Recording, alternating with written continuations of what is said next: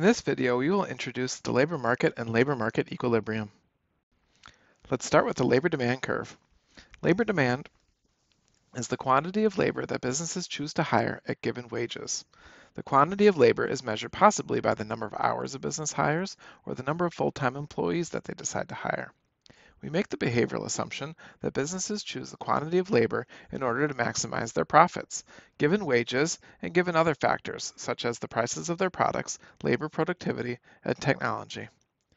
The law of labor demand states that as the wage increases, the quantity of labor demanded by firms decreases.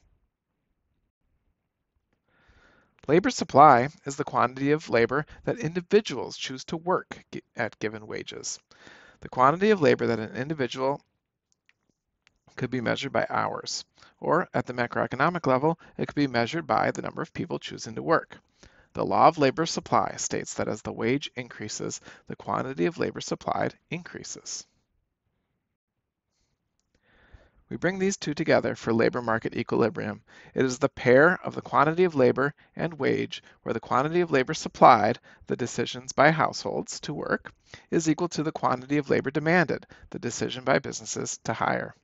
This represents the wage and the level of employment that we would expect in the long run in a market absent of government intervention.